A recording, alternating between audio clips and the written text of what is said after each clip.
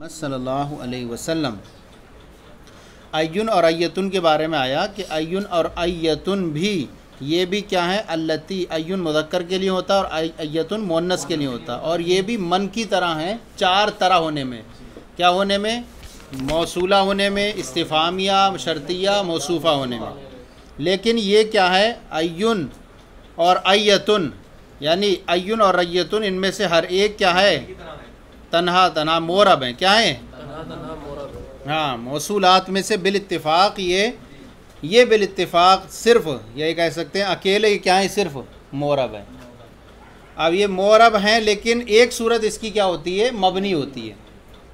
एक सूरत मबनी होती है। अब यही कह सकता है कोई एतराज़ के मबनी मोरब थे तो फिर इनको मबनीयात के इसमें क्यों ज़िक्र कर दिया? तो कहते हैं कि एक किस्म इसकी मबनी होती है कि नहीं होती है? तो उसी की मुनासिबत की वजह से क्या कर दिया गया? अब कहते हैं, कब है? मोरब होते हैं, इल्ला इदा हुजीफ़ा। अब ये इस्तना उसका। मोरब तो होते हैं। कहते हैं कि अय्युन और अय्यतुन ये मोरब होते हैं, मगर जब इसका सदर सिला, हज़फ हो जाए, यानी इनमें से हर एक मोरब होता है तमाम अवकात में। मगर कब? इल्ला फ़ी वक्ती हुजीफ़ा सदर सिलातिया मगर उस वक्त जब इसका सदर सिला महजूफ़ हो तो ऐसी सूरत में इसको ज़म्मे पर मबनी पढ़ना जायज़ है। क्या है? हाँ जब इसके सदर सिला हज़फ हो जाए तो इसको ज़म्मे पर, लेकिन इस शर्त के साथ कि अयू मुजाफ हो। क्या हो? देखिए, मिसाल कुरान पाक की नीचे लिखी हुई है। सुमन ज़ियान मिनकुल शियातिन अयुम अशद रहमानी इतिया तो यहाँ देखिए, यानी हम खींचेंगे, उनमें से, हर गिरोह में से, उसको पकड़कर खींचेंगे, क्या है, जो रहमान पर, क्या है, सरकशी में सबसे ज़्यादा सख्त था। सही है नहीं? तो अब यहाँ देखिए, यहाँ पर क्या है अयू ये ज़म्मे पर मबनी है कि नहीं है? और मुजाफ है किसकी तरफ़? मुजाफ है ज़मीर की तरफ़। और इसका सदर सिला क्या है यहाँ? महसूफ है। सदर सिला किसे कहते हैं? जो जुमले के शुरू में आता है। तो देखिए, सुम्मा लनन ज़ियान्ना मिन कुल्लिशियतिन अयुहम अशद्दु। अयुहम के पहले जो, अशद्दु से पहले जो हुआ होगा। अयुहम हुआ अशद्दु रहमान। तो ये हुआ जो है, यही सदर सिला था। ये हज़फ है तो ऐसी सूरत में क्या होगा? ये ज़म्मे पर मबनी होगा। तो ये सूरत में क्या होता है? ये अयुन और अयतुन मबनी होते हैं। और कहते हैं, व इन लम तकुन मुजाफ़तन। और अगर ये मुजाफ ना हो, ये तो मुजाफ वाली सूरत थी। और अगर ये मुजाफ ना हो तो क्या होंगे? ये मोरब होंगे। व इन हुजीफ़ा सदर सिलातिया। अगरचे क्या हो इनका? सदर सिला महजूफ हो। जैसे अकरम अयन अफजल। देखिए क्या ये? मुजाफ नहीं है। सही है नहीं? और सदर सिला भी इसका हजफ है?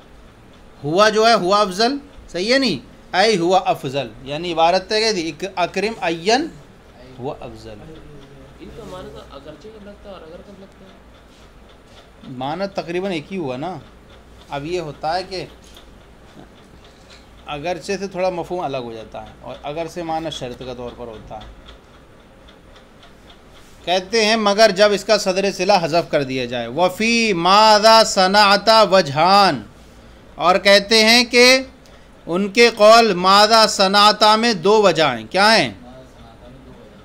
उनमें से अहदुआ मल्लजी, उनमें से एक ये कि मा, उनमें से एक माना क्या हो इसका? वजहान, उनमें से मल्लजी। यानी मल्लजी सनाता। क्या हो जाएगा? यानी वो क्या है जो तूने किया। इस, इस अब यहाँ पर इस सूरत में क्या हो जाएगा? यहाँ माजा में माँ इस्तिफामिया हो जाएगा। माजा में माँ इस्तिफामिया हो जाएगा और जा बमाने किसका हो जाएगा? मौसूला हो जाएगा। यानी इबारत होगी अय्या शैन अल्लवी सनात कौन सी चीज़ है वो जिसे तूने किया?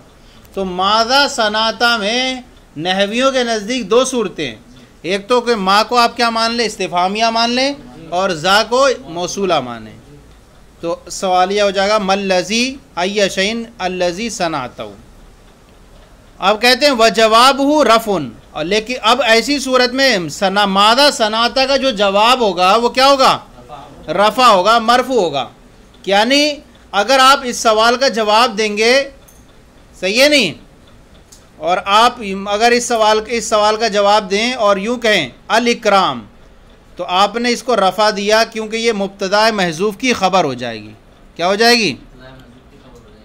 अल्लदी सनातहु अल इकराम क्या हो जाएगा? यानी मतलब क्या होगा? मादा सनाता, किसी ने पूछा? मादा सनाता, वो क्या है? अल्लदी सनाता वो क्या है जो तूने किया? अब वो कहते हैं, इसका जो जवाब आएगा, वो क्या होगा? मरफू होगा। और यानी ये क्या होगा? मुबतदा महजूफ़ की खबर होगी। यानी यूँ कहा जाएगा अल्लदी सनातु अलकराम क्या हो जाएगा? तो देखिए अल इकराम ये मरफू होगा क्या? कि ख़बर हो जाए किसकी? मुफ़्त अल्लदी सनात। वो जो मैंने किया क्या है? इकराम है ताज़ीम। क्यों? अच्छा ये अल इकराम जो आपने ख़बर निकाली, ये तो ख़बर मौजूद है। मुबतदा आपने क्यों निकाली इस तरह की? क्योंकि ये जवाब जो होता है, वो सवाल के मुताबिक होता है। तो मादा सनाता में सनाता था अल्लदी सनातु जवाब में निकाला। सही है? अल्लदी सनातु इसने इसमिया रखा ताकि सवाल क्या हो जाए, जवाब जवाब सवाल के मुताबिक हो जाए। सही है? और एक तो ये वजह हो गई रफ़ा की। वल आखरु अय्या वजहिन और दूसरी क्या वजह? इसका माना क्या हो?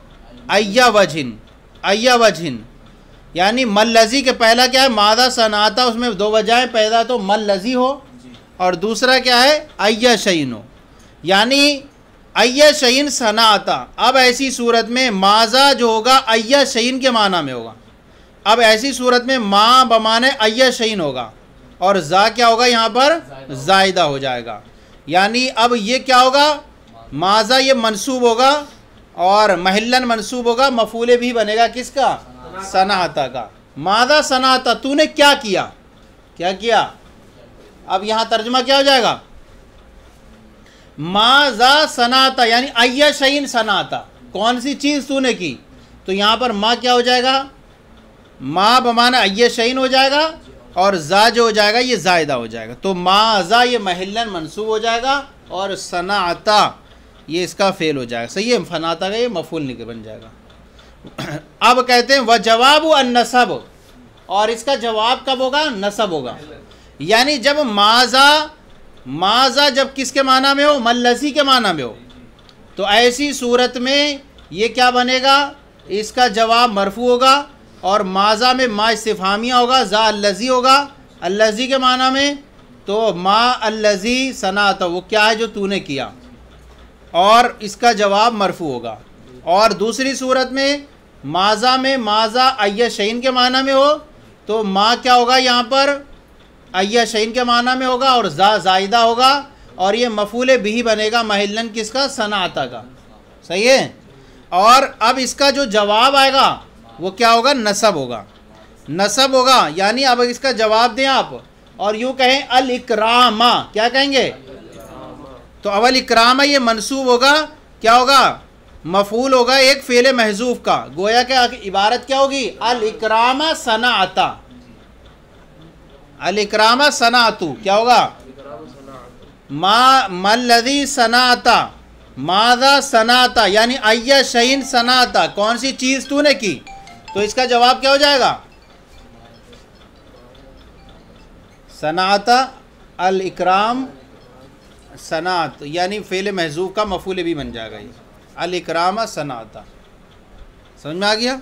वह जवाब अन नसब और इसका जवाब क्या होगा? नसब होगा तो ये सवाल क्या हो जाएगा? फ़ेलिया में जवाब के क्या होगा? तो फ़यकून सवाल मुताबिक जवाब। तो ये सवाल क्या हो जाएगा? जवाब के मुताबिक होगा फ़ैलिया में। जैसे कि और भी पढ़ा गया, कुलिल अफवा अफवा ये जवाब में किसके आया? मादा यूनफ़िकून के। यानी वो पूछते हैं कि क्या खर्च करें।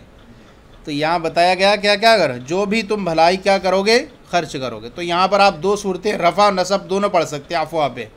रा कहते हैं, जवाब में है तो नसब पढ़ सकते हैं, सही है? और रफ़ा क्यों पढ़ सकते हैं? वजह अव्वल की तरफ़ इशारा करते हुए। वजह अव्वल की तरफ़ इशारा करते हुए। वजह अव्वल क्या? माँ को क्या माने? माँ को इस्तीफ़ामिया माने। और ज़ा को अल्लजी के माना माने तो रफ़ा पढ़ सकते हैं। हो गया? अब असमाय अफ़ाल को यहाँ से बयान करेंगे। तो कितने हो गए ये मबनियात? ज़मीर हो गया असमाय मौसूलात हो गए असमाय इशारा हो गया। तीन हो गए। अब असमा अफ़ाल के माना में आएगा, असमा अफ़ाल बमान माजी, असमा अफ़ाल बमान अमर हाजिर। चलें।